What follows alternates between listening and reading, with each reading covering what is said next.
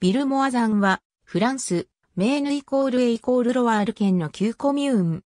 2016年12月15日、合併により、コミューンルーベルのバルデルドルイコールオクサンスとなった。シャントセ方面にある、ビルモア山の農村スグレン地方にあるアンジューのコミューンで、サンシジス門の北東に位置する。コミューンはスグレン地方の大地と湿地の風景の中にある。三つの河川が隣接するコミューンとの境界近くを流れている。南へは、オクサンス川がシャントセシュルロワールとサンシジスモンとの境界を流れる。